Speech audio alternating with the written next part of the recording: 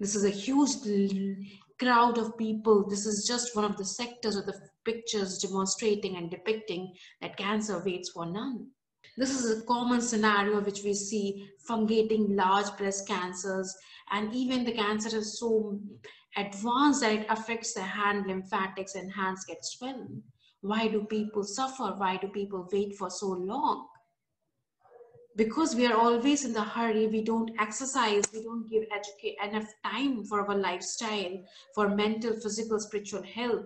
We gradually start becoming obese because the food we take is mostly the fast food, which is rich in carbohydrates. It may be frozen food. It may be junk food. We don't really give emphasis on what we eat we give more emphasis on what we taste and what taste suits us. There are a lot of harmful chemicals everywhere. The pesticides, the antibiotics we inject in the crops, the hormones we inject in the crops so that crops, vegetables, fruits look bigger, they look nicer, but they're causing cancer.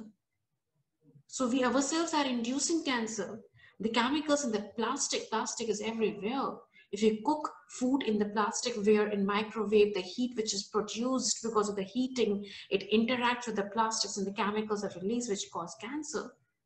The cosmetics which we use, which we wear, the perfumes, the lotions, the hair chemicals, the straighteners which we use, the shampoos we use, there's so many things, cosmetics we use.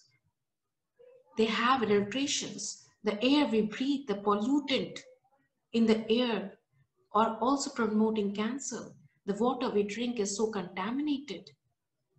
So somebody has said breast is a sponge for everything in the environment.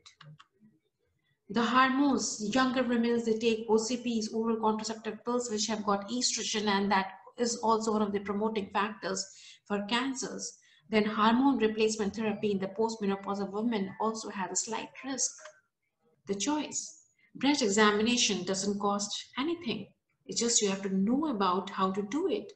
Women can do standing in the, or men can do standing in while taking shower, standing in front of the mirror, seeing the nipples are both at the same size. There is no change in the skin. The nipple is not retracted inside. There's no change in the size of the breast, any lump formation, we have to examine in the clockwise direction, also in the lying down position to see if any change, we should report to the doctor.